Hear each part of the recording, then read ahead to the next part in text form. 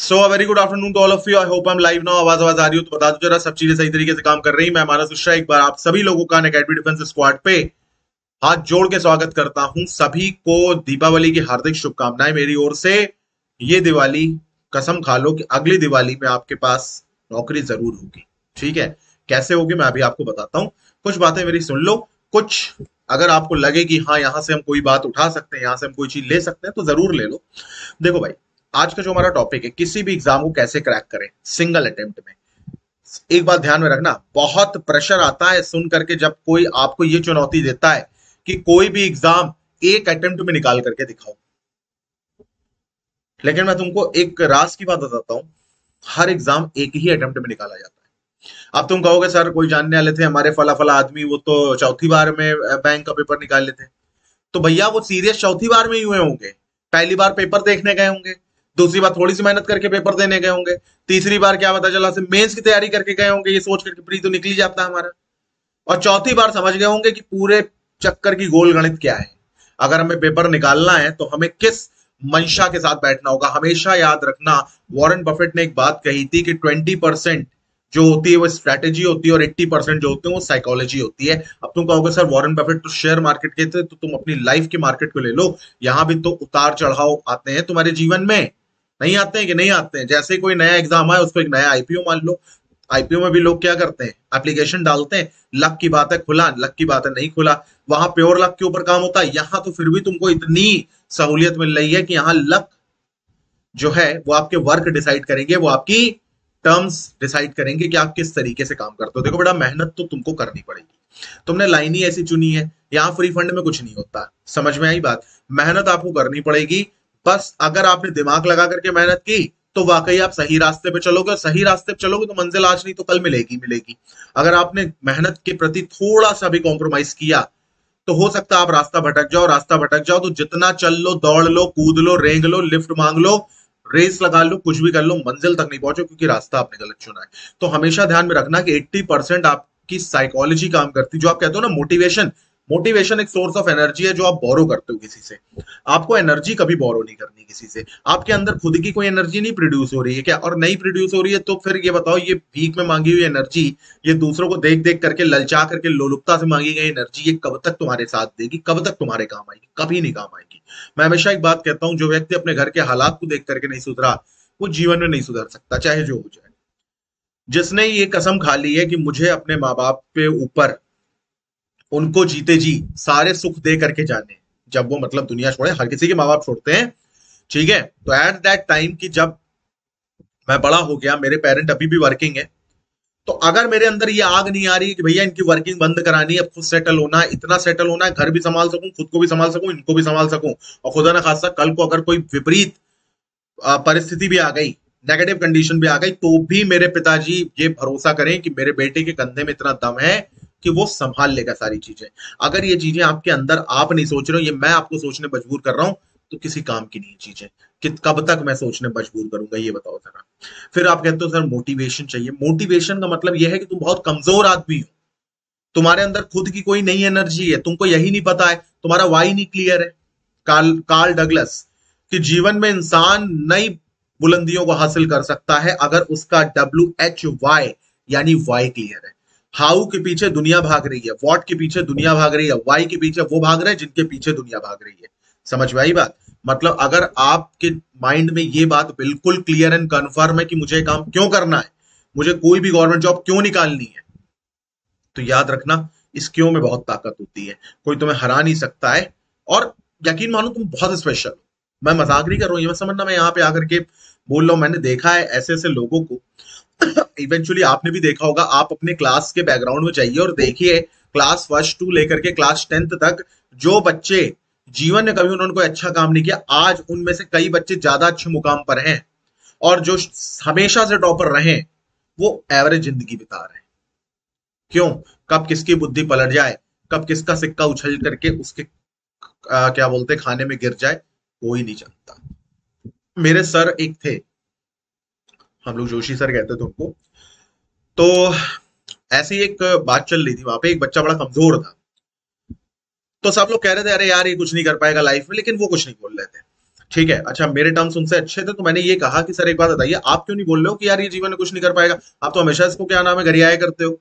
तो कहते हैं कि, यार, मानस, देखो, कौन, कब, किस समय कितनी मेहनत कर ले जाए? ये कोई नहीं कह सकता। मुझे वो बात याद है भी कि कौन कब किस समय कितनी मेहनत कर ले जाए ये कोई नहीं कह सकता। और जब ये बात कोई कह नहीं सकता तो मैं कैसे किसी का भविष्य निर्धारित कर दूँ कि ये कुछ नहीं कर पाएगा? और मैं रियलिटी में बताऊँ आज वो बंदा आई थिंक uh, मैं अभी कुछ समय पहले मुझे बात हुई थी फेसबुक के थ्रू ही बात हुई थी तो वो कनाडा में था। उसने बिट्स से किया है बिट्स पिलानी से। एंड वो बंदा जिसका कोई पूरा नाम नहीं लेता था, लोग उसका शॉर्ट फॉर्म लेते थे। ठीक है पी से नाम था उनका।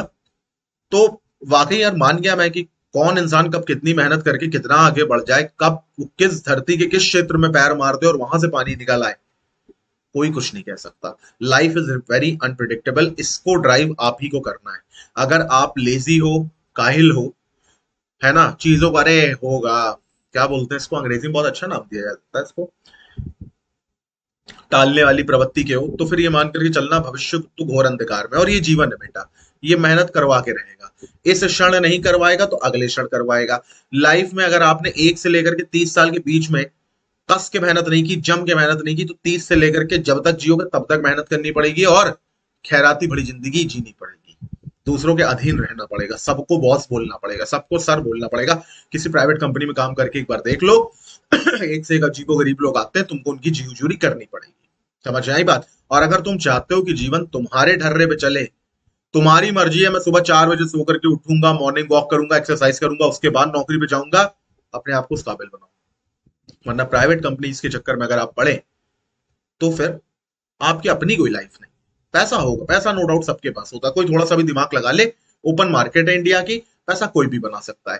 थोड़ा सा रिस्क लेने की ताकत हो, थोड़ी बेशर्मी हो, आप एक उद्योगपति हैं। ठीक है? नहीं है धीरे धीरे धीरे धीरे बन जाएँगे। बट फिर वो गोली अलग है फिर आप यहाँ पे क्यों? फिर तो बात ही खत्म हो गई। इतना भी तो नहीं कॉन्फिडेंस है, तब भी तो देख रहा हूँ मुझको। उतना ही कॉन्फिडेंस होता कि अगर मैं एक बिज़नेस डालूँगा, एक और उस बिज़नेस को एक वेंचर का रूप दे दूँगा तो आप यहाँ होते ही है ना? इस समय तो आप मार्केट में होते हैं। किसी से बात कर रहे होते किसी से सामान खरीद रहे होते कुछ प्लानिंग कर रहे होते, लेकिन आप यहाँ कॉपी पेन लेकर के अगर बैठे हो, अगर आप ये देख रहे हो how to crack exam in single attempt तो कहीं ना कहीं आप कंफ्यूज हो ना भैया? और कंफ्यूजन क्रिएट्स क्योसिटी क्यूरियोसिटी नहीं क्योसिटी ठीक है? इसका मतलब यह है कि संशय जो होता है, वो जीवन में उत्पाद क्रिएट करता है।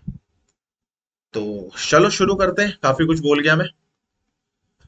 तो भाई, मेरा नाम है मानस मिश्रा। रीजनिंग पढ़ाता हूँ आप लोगों को। ये कुछ क्रेडेंशियल्स है मेरे। और अन अकेडमी का अगर आप सब्सक्रिप्शन लेते हो तो आपको live classes test series quizzes doubt clinic sessions मिलेंगे। इसके अलावा सभी एजुकेटर्स के द्वारा आपको एक लाइव स्ट्रक्चर कोर्स प्रोवाइड किया जाएगा। आपकी एग्ज़ाम की फुल तैयारी होगी। कहीं भी, कभी भी असीमित लाइव क्लास का आनंद उठा सकते हो। वीकली क्विज होते हैं जिससे अपनी क्षमताओं को जा सकते हो। सभी plus course doubt clearing classes होती हैं। प्लस कोर्स में सब्जेक्ट को समझने के नए आकर्षक तरीके बताए जाते हैं। PDF test series proper guidance सब कुछ मिलती है आपको। अन अकेडमी लर्निंग ऐप को तुरंत इंस्टॉल करिए। मोबाइल नंबर ईमेल डाल करके तुरंत फटाफट रजिस्टर करो भैया। यहाँ पे जाओ सर्च करो, जिस भी एग्ज़ाम की आप कर रहे हो, तैयारी। बहुत सारी फ्री क्लासेस डेली बेसिस पे देखने को मिलेंगी। चौबीस महीने, बारह महीने, छह महीने का प्लान है आपका, जिसमें अगर आप मेरा कोड लगाओगे तो आपको टेन परसेंट को ऑफ़ मिलेगा। साथ ही साथ आप मेरी ब्रॉडकास्ट लिस्ट में ऐड हो जाओगे इसके हमारे आपके संबंध जब तक आपका सिलेक्शन ना हो जाए, तब तक रहेंगे। आप मेरा रेफरल कोड का इस्तेमाल करके कोई भी एडमिशन करा सकते हो टेन परसेंट ऑफ़ पा सकते हैं। तो आज का भैया जो हमारा टॉपिक है, वो तुम्हारे सामने यहाँ पे लिखा हुआ है। वो क्या है? पढ़ो जरा। How to crack exam in single attempt एक बात मेरी सुनो। अभी तक जो हुआ, सब भूल जाओ। अगर बुरा हुआ अच्छा हुआ मत भूलना। कुछ भी अगर अभी तक बुरा हुआ है, सब भूल जाओ। और अब आगे से देखो। देखो, ये दीपावली है। आपको पता है, आज छोटी दिवाली है, कल बड़ी दिवाली होगी। परसों गुजराती कैलेंडर के हिसाब से नया साल लग जाएगा। उस नए साल को अपना भी नया साल मानो और एक नई शुरुआत करो। और ये नई शुरुआत इतनी तगड़ी हो कि तुम्हारी स्पीड मूवी देखी ना? बाजीराव मस्तानी, उसका डायलॉग है कि बाजीराव की रफ्तारी, बाजीराव की पहचान है। रफ्तार को अपनी पहचान बनाओ। डायरेक्शन सही है, कभी गलती नहीं मैंने कहा ना, रास्ता सही चुना है, धीरे चलो, धी, तेज चलो, मंजिल मिली जाएगी। क्योंकि उसी ऑन द वे है ना, रास्ता गलत चुन लिया, मंजिल कभी नहीं मिलेगी। जितना तेज चलो। एक दूसरा वीडियो भी मैं भी लाऊँगा, जिससे मैं स्टूडेंट्स की बेसिक प्रॉब्लम जो आती है ना, उसको आज बताऊँगा, उसके ऊपर जरा दो बातें करूँगा और उसको समझने का प्रयास करना देखो, यहाँ पे कुछ चीज़ें आपके सामने, मैंने लिखी क्या लिखी है। और ये सबके पास होनी चाहिए, नहीं है तो तुम फिर आदमी ही नहीं हो, फिर एस्पेरेंट नहीं हो। सबसे पहले होना चाहिए सिलेबस अब ये सिलेबस क्यों? आपने देखा होगा सीडीएस का एग्ज़ाम जब यूपीएससी की वेबसाइट पे आता सिलेबस एक आता वो मज़ाक में दिया होता है। वो कंप्लीट एक रीजन है, जिसमें आपको ये बताया गया है कि हम सवाल यहीं से पूछेंगे। तुमको क्या लगता है कि तुम ज्योग्राफी जैसे आया इंडियन ज्योग्राफी आया? तो तुम किसी ऑथर की किताब उठा ला, तुमने पूरी इंडियन ज्योग्राफी पढ़ डाली। क्यों पढ़ डाली? क्यों पढ़ी? बताओ। जब सिलेबस में लिखा ही नहीं वॉल्केनो पूछा जाएगा, और तुमने पंद्रह पन्ने के नोट्स बनाए वॉल्केनो के, क्यों बनाए? कहीं लिखा उसमें उससे कुछ पूछा ही नहीं जानना है। फिर तुम कहोगे, सर, दिल है कि मानता नहीं। तो यहाँ दिल को नहीं मनाना है। समझ आई बात? ये शादी नहीं है एग्ज़ाम कि तुम्हें सारे रस्मो रिवाज निभाने और प्रॉपर तरीके से निभाने ना। ये तुम्हारा युद्ध है और इसमें छल, कपट सब लगता है। अब ये छल, कपट के मतलब ये नहीं चीटिंग करने कह रहा हूँ एथिकल रहो। छल, कपट का मतलब ये है कि अगर आप रणनीति खुद को ऊपर उठाने में लगा रहे हो ना, भगवान भी तुम्हारे साथ है। और अगर आप अपनी रणनीति दूसरों को गिराने में लगा रहे हो, तुम्हारे साथ तुम्हारा खुद का जमीर नहीं है, भगवान तो बहुत दूर की बात है। तो सिलेबस जो होता है ना, वो सौ परसेंट है, आपके जीवन में सौ परसेंट रोल प्ले करता है। उसको पहले देखो, लिखो प्रिंट आउट मार करके पूरी दीवार में छाप डालो उसको। और तब तक उसको देखो जब तक तुम्हें कंठस्थ से ना हो जाए कि यही हमारा सिलेबस है एक्स्ट्रा कुछ नहीं पढ़ना है। समझ आई बात? सरकारी आदमी की तरह सोचो, उतना ही काम करेंगे, इतना कहा गया है। सर्विस सर्कुलर आते हैं ना आदि पढ़ लेता उसको, अरे ये तुम्हारी ड्यूटी नहीं है। ना, ये तो पुलिस वालों को देखो, आप किसी थाना क्षेत्र के आगे जाकर के कोई कोई काम कर दो कंप्लेन वहाँ कर मतलब अपना पर्स जाकर के गिराए रहे हो और उसके बाद जाकर वहाँ करो कंप्लेन नहीं, लेकिन तुम्हें कह देंगे, मेरे उसमें आता ही नहीं है। ऐसे बनो, अपनी ड्यूटी समझो, अपना सिलेबस समझो सबसे पहले। सो सिलेबस को भैया याद कर डालो। ऐसे घोल करके पी डालो, कट गट गट ठीक? पहला काम अगर आपने कर लिया, दस परसेंट आप एक अच्छे एस्पेरेंट ऐसे ही बन गया, क्योंकि अब आप फर्जी की चीज़ें नहीं पढ़ेंगे। और फर्जी की चीज़ें पढ़ने में जो टाइम बचेगा, उसको ढंग की चीज़ों में पढ़ो। नहीं पढ़ना, सो जाओ। सबसे बेटर चीज़ है। समझ आई बात? दूसरा बैक ईयर पेपर आपके पास होने चाहिए, क्योंकि अगर आपके पास बैक ईयर पेपर नहीं है तो आप क्या करोगे? आप ट्रेंड नहीं समझ पाओगे। पेपर का ट्रेंड क्या होता है? और कभी कभी इस ट्रेंड में रिवर्सल भी आता है। मतलब 2013 2017 का पेपर एक जैसा आ गया। 2015 2020 का पेपर एक जैसा आ गया। दिमाग लगना शुरू। है ना? कितना टाइम बचे?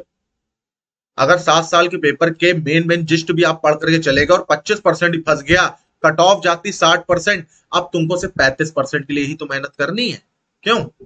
35 परसेंट के लिए भी नहीं कर पाओगे। दिमाग तो लगाओ पेपर टफ नहीं है। तुम्हारे तरीके बड़े पुराने, बड़े गंदे भद्दे तरीके हैं तुम्हारे। ठीक है? बुरा मत मानना जो मैं बता रहा हूँ। उन चीज़ों को सीरियसली आप क्योंकि सिलेक्शन अगर आपका पैसे तो मैं चाहता हूँ, ईश्वर करे, सभी का सिलेक्शन हो, लेकिन हो नहीं सकता ना। क्योंकि तैयारी लाखों लोग करते हैं, पोस्ट कुछ हंड्रेड्स में आती तो सबका नहीं हो सकता, चाहे जो हो जाए। होगा उसी का जो डिजर्व करता है। एक कहावत है ना you not get what you want you get only what you deserve वही मिलता है जिसके आप हकदार हो। वो नहीं मिलता जो आप चाहते हो। वो अगर मिल जाए तो मेरे भारत के समय सोलह करोड़ वो होते प्रधानमंत्री। क्योंकि हर कोई बनना चाहता है। कई लोग नहीं भी बनना चाहते ठीक है? हर एक ज़िले में जितनी जनसंख्या उसका नब्बे परसेंट डीएम होते हैं। हर कोई बनना चाहता बिना मेहनत उसके बाद आपके पास होनी चाहिए काम की बुक। अब ये काम की बुक क्या होती? एक मेरा एग्ज़ाम था। बहुत पहले की बात तुम बता रहा हूँ। रेलवे के जूनियर इंजीनियर का एग्ज़ाम था। और मैंने देखा वहाँ पे जीएस आती है। अब मेरे पास दो ऑप्शन थे। एक, मनोहर पांडे साहब की अरिहंत की बुक ले आता मैं। और एक लूसेंट की बुक ले आता मैं। मैंने देखा लूसेंट इतनी मोटी थी, इतनी। इतनी। मनोहर पांडे साहब की किताब कितनी मोटी थी? कितनी पतली मैंने प्रीवियस ईयर पेपर देखा सिलेबस देखा, मैं समझ गया, अरे अरिहन बेस्ट। लाया, पढ़ा। Out of I think thirty seven question twenty nine बिल्कुल सही थे। चार तुक्के मारे वो भी बिल्कुल सही हुए। तो पतली से किताब में तैतीस नंबर मैंने कर लिए आउट ऑफ़ थर्टी सेवन चार नहीं आते नहीं आते करंट अफेयर थे, छोड़ो, हटाओ इनको, इतना प्यार नहीं हमको। ठीक है अपने को तो क्या है ना पेपर निकालना आपको टॉप थोड़ी करना है। टॉप करने के लिए रणनीति नहीं है, ये बात ध्यान रखिएगा। टॉप करने के लिए तो फिर जैसे क्लास टेंथ में आप पढ़ते थे, वैसे पढ़िए, सब कुछ पढ़िए फिर। और उतना टाइम भी नहीं है, जो साफ़ बात है। तो बुक्स आपके पास कायदे की होनी चाहिए? ढंग की होनी चाहिए, जो आपके सिलेबस को अच्छी तरीके से कवर अप कर सके। अब ये नहीं वॉलकैनो के ऊपर ही आप इतनी मोटी किताब ले आए। माउंटेन रेंज के ऊपर आप इतनी मोटी किताब ले आए। तो आपको सीडीएस पेपर पेपर बनाना थोड़ी ना, आपको पेपर पास करना है। भैया, उस हिसाब से सोचो। फिर आते हैं नोट्स पर। अगर आप अपने नोट्स नहीं बना रहे हो तो ये समझ लेना, ये स्टेप भूल जाना, फिर ये स्टेप नहीं हो पाएगा। इसलिए कुछ भी करो, अपने नोट ज़रूर बनाओ और छोटी छोटी तरीकों से नोट्स बनाओ। जैसे फॉर एग्ज़ाम्पल मैं किस तरीके से नोट्स बनाता था? जैसे मैं एक छोटा सा एग्ज़ाम्पल अगर आपको दूँ किसके ऊपर, जैसे फॉर एग्ज़ाम्पल मान लो मैंने मैटर के ऊपर दिया तो मैं तो इस तरीके, मैं कभी, मैं एक, मैं हमेशा एक ए फोर शीट उठाता था। और ए फोर शीट में मुझे एक चैप्टर खत्म करना है। आगे पीछे, दो पन्ने होते हैं ना, आगे फोल्ड कर लो पीछे। बहुत ज़्यादा हो गई दो। अब मैं नोट्स जो होने चाहिए ना, वो शॉर्ट नोट्स होने चाहिए। कैसे होने चाहिए? शॉर्ट नोट्स होने चाहिए और वो उस भाषा में होने चाहिए जो भाषा आपको समझ में आती। जैसे मैं फ्लो चार्ट बनाता था, ठीक है, मैं क्लाउड बना बना करके लिखता था। तो मैंने इस तरीके से कई सारे अपने मार्क दे रखे थे कि क्लाउड का मतलब ये है बार का मतलब ये है ओवल बार का मतलब ये है। उस तरीके से आप भी करो। पूरी लाइन नहीं लिखनी है कि matter is something which compose of तो फिर किताब ही छाप लो ना, पन्ना फाड़ करके चिपका लो। ठीक है? तो ये काम आप लोगों को नहीं करना है। शॉर्ट नोट्स बनाओ और रिवीजन रिवीजन का तो इंजेक्शन लगाना है यहाँ पर। समझ आई बात? जो बंदा रिवीजन नहीं करता है, वो समझ लो 80 परसेंट भूलने की काबिलियत रखता है। तो 60 का परसेंट का 80 परसेंट अगर तुम भूल गए तो 12 ही परसेंट करके आओगे। समझ आई बात? और उन 12 परसेंट का तुमको 10 परसेंट नंबर मिलेंगे बस।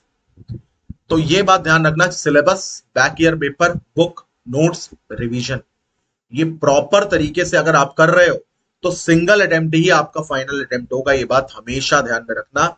और मेरा ये भी मानना है कि अगर आप लोग तैयारी कर रहे हो तो कभी भैया उसको बोझ समझ करके मत करना, उसको एंजॉय करो। जो बंदे ने पढ़ाई में मज़े ढूंढ लिए, उस आदमी को कभी दुनिया में कोई आदमी टोक नहीं सकता कि तुम पढ़ते नहीं हो, तुम लिखते नहीं हो, तुम ये हो, तुम वो ठीक है? तो हमेशा मेरी ये बात ध्यान में रखना। इसी के साथ मैं अपनी क्लास और अपनी बात यहाँ पे खत्म करता हूँ। उम्मीद करता हूँ कि आप लोगों को अच्छा लगा होगा। सब्सक्राइब करना चैनल को और बेल आइकन प्रेस करना कमेंट करके बताना। टेलीग्राम चैनल है हमारा अकेडमी डिफेंस स्क्वाड उसको भी ज्वाइन करना। So bye take care have nice day ईश्वर आपको हमेशा खुश रखे। सभी को शुभ दीपावली। जय हिंद, जय श्री राम।